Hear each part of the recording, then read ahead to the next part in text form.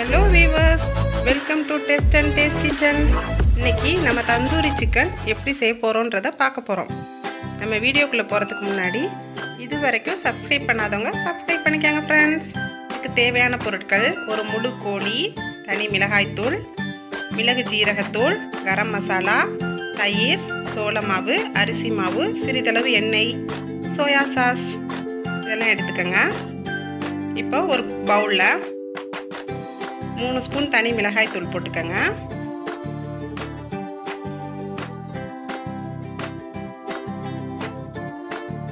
இப்போ கரம் மசாலா மூணு ஸ்பூன் போட்டுக்கோங்க. மிளகு ஜீரக பொடி ரெண்டு ஸ்பூன் போட்டுக்கோங்க.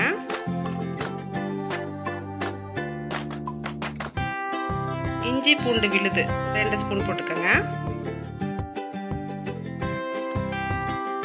இப்போ சிறிதளவு எண்ணெய் சேர்த்துக்கலாம். ஒரு ஐம்பது எம்எல் எண்ணெய் சேர்த்துக்கோங்க. நல்லெண்ணெயாக இருந்தால் ரொம்ப நல்லது. இப்போது நான் அரிசி மாவு எடுத்துக்கிறேன். அரிசி மாவு மூணு ஸ்பூன் போட்டுக்கோங்க. பிறகு சோள மாவு போட்டுக்கணும். சோள மாவு மூணு ஸ்பூன் போடுங்க. தயிர் ஒரு அரை பவுல் போட்டுக்கோங்க.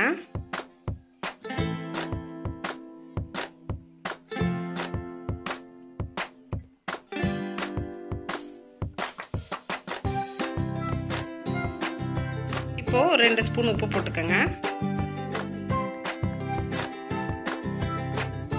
இப்போ எல்லாத்தையும் நல்லா மிக்ஸ் பண்ணிக்கோங்க. இப்போ நம்ம மிக்ஸ் பண்ணும்போது தண்ணி பத்தலைன்னா தேவைக்கேற்ற மாதிரி கொஞ்சமாக தண்ணி ஊற்றி மிக்ஸ் பண்ணிக்கணும் ஃப்ரெண்ட்ஸ் இப்போ நல்லா மிக்ஸ் பண்ணுங்கள் பேஸ்ட் மாதிரி வருது பார்த்தீங்களா அந்த பதத்தில் இருக்கணும். ஏன்னா தண்ணியாக இருந்துச்சுன்னா நம்ம அப்ளை பண்ணும்போது சிக்கனில் வந்து ஒட்டாது.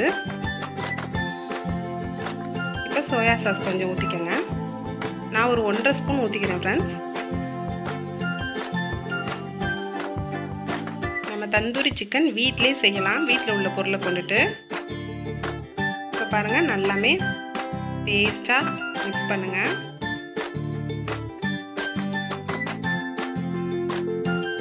எந்தளவு நம்ம மிக்ஸ் பண்ணுறோமோ அந்தளவு கோழியில் வந்து நல்லா ஒட்டி தனியாக பிரியாமல் வரும் ஃப்ரெண்ட்ஸ் இப்போ நான் நல்லா பேஸ்ட்டாக மிக்ஸ் பண்ணிகிட்டே இருக்கேன்.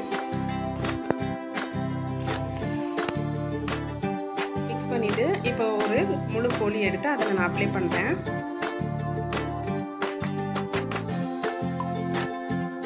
பாருங்கள் அந்த பேஸ்ட்டை நல்லா வந்து அந்த முழு கோழியில் நான் அப்ளை பண்ணுறேன் நல்லா ஃபுல்லாக திருப்பி திருப்பி எல்லா இடத்துலையும் படுற மாதிரி அப்ளை பண்ணிக்கோங்க ஃப்ரெண்ட்ஸ் இப்போ பண்ணி ஒரு ரெண்டு மணி நேரத்துக்கு ஊற வச்சுருங்க ஃப்ரெண்ட்ஸ் நான் இப்போ ஊற வச்சுட்டேன். இப்போது ரெண்டு மணி நேரத்துக்கு அப்புறம் அதை எடுக்கிறேன். எடுத்து அதை வந்து ஒரு கம்பியில் வந்து உள்ளே சொருவிக்கிறேன்.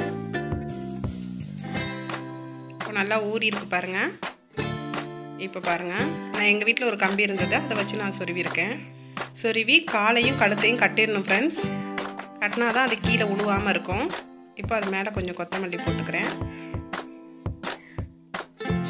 இப்போ நம்ம விறகடுப்பு ரெடி பண்ணியாச்சு. எங்கள் வீட்டில் வந்து தந்தூரி சிக்கன் செய்கிறதுக்கு இட வசதி இல்லைன்றதுனால நான் தொட்டியில் ரெண்டு குச்சிகளை கட் பண்ணி அதை ஜாயின் பண்ணி அது மேலே வச்சுட்டேன். இப்போ பாருங்கள் தந்தூரி சிக்கன் செய்கிறதுக்கு எங்கள் வீட்டில் நான் ரெடி பண்ணிட்டேன்.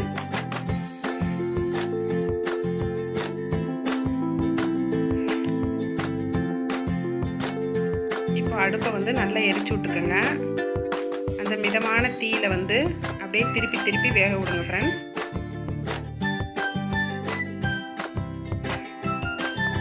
இப்போ பாருங்கள் ஏன்னா அந்த காலையும் கழுத்தையும் நம்ம கட்டும் போது அது கீழே உழுகாமல் நல்லா டைட்டாக இருக்கும்.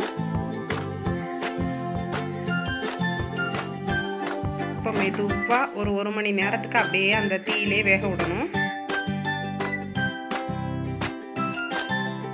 நான் கொஞ்சம் பட்டர் எடுத்துக்கிறேன் ஃப்ரெண்ட்ஸ் பட்டர் எடுத்து நல்லா வெந்த பாகத்துலலாம் அப்ளை பண்ணுறேன்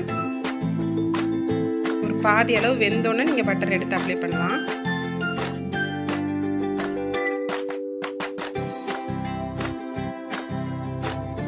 ஏன்னா வேகிறதுக்கு முன்னாடி அப்ளை பண்ணிங்கன்னா ஒட்டிட்டு வரும். இப்போ நான் அப்படியே திருப்பி அப்ளை பண்ணுறேன் பாருங்கள் நல்லா ஒரு ரெட்டிஷாக வெந்திருக்குது. அதுக்கு மேலே அப்ளை பண்ணிக்கோங்க. இப்போ வேக விடுங்க. லோ ஃப்ளேம்லேயே வேக விடணும். நெருப்பு அதிகமாகவும் படக்கூடாது. அப்படியே சுற்றி சுற்றி வேக விடணும் ஃப்ரெண்ட்ஸ் தந்தூரி சிக்கன் நம்ம வீட்டிலே செய்யலாம். ஆனால் அதிகளவு நெருப்பு வேணும். இப்போ அந்த நெருப்புலேயே சுற்றி சுற்றி வேக விடுங்க. இப்போ நான் அடியில் வயிறு பாகம்லாம் வேகாததுனால அந்த காலில் உள்ள கட்டை அவுத்துட்டேன் ஃப்ரெண்ட்ஸ் இப்போ அவுத்துட்டு வேக விட்றேன். ஏன்னா வயிறு பகுதி வந்து கொஞ்சம் திக்னஸான பகுதி. ஸோ அதெல்லாம் நல்லா வேகணுன்றதுனால நான் கால் கட்டை அவுத்துட்டேன். இப்போ வெந்துட்டுருக்கு. இப்போ பாருங்கள் அந்த தொடை பகுதி கால் பகுதி வயிற்று பகுதி எல்லாமே வெந்திருக்கு பாருங்கள் கிறிஸ்பியாக வெந்துட்டுருக்கு ஃப்ரெண்ட்ஸ் தந்தூரி சிக்கன் செய்ய பொறுமை தான் ரொம்ப முக்கியம் வேணும் ஃப்ரெண்ட்ஸ் அவசரப்பட்டு எடுத்தீங்கன்னா அது வேகாது. அதனால் அந்த அனல்லே வேக விடுங்க.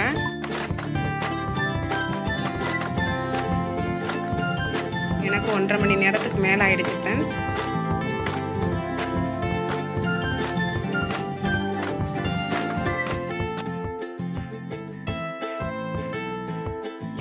கால் பகுதியை நான் இன்னும் கொஞ்சம் வேக விடுறேன்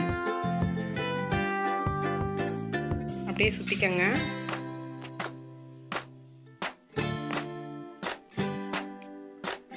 இங்கே பாருங்கள் சூப்பராக கிறிஸ்பியாக வெந்து வந்திருக்குது.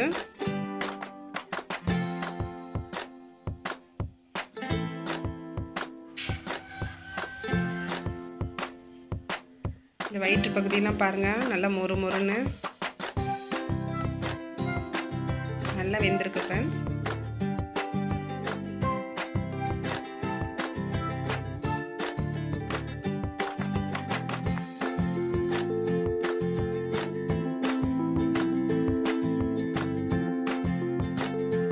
நான் எங்கள் வீட்டில் செஞ்ச விறகு அடுப்புலேயே தான் நான் செட் பண்ணி செய்கிறேன்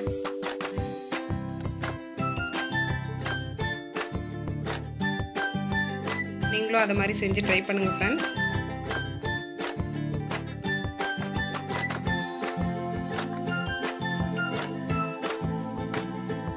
ஒரு முழு சிக்கன் செஞ்சீங்கன்னா உங்கள் ஃபேமிலியில் எல்லாருமே சாப்பிட்லாம். நாங்கள் இன்றைக்கி ஒரு முழு கோழியை தான் செய்கிறோம்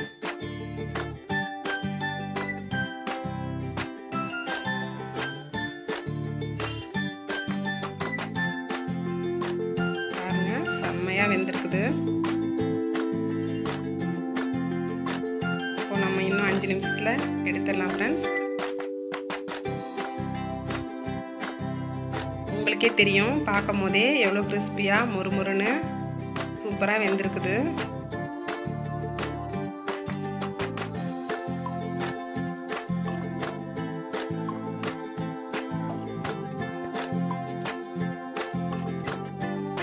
சூப்பரான சிக்கன் தந்தூரி ரெடி ஆயிடுச்சு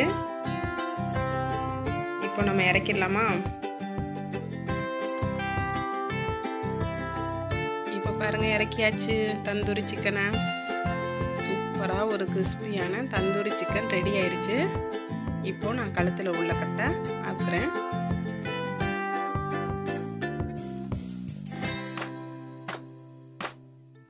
அவுக்கு ஒரு பிளேட்டில் எடுத்து வச்சிடுறேன். இப்போது நம்ம எல்லாருமே எதிர்பார்த்த தந்தூரி சிக்கன் வீட்டிலே செம்மையாக ரெடி பண்ணியாச்சு ஃப்ரெண்ட் இப்போ பரிமாற போகிறேன் நாங்கள் எல்லாம் சாப்பிட போகிறோம். நீங்களும் இது மாதிரி ட்ரை பண்ணி சாப்பிடுங்க. இந்த வீடியோ உங்களுக்கு பிடிச்சிருந்தா லைக் பண்ணுங்கள் ஷேர் பண்ணுங்கள் மறக்காமல் சப்ஸ்கிரைப் பண்ணுங்கள் ஃப்ரெண்ட்ஸ் தேங்க்யூ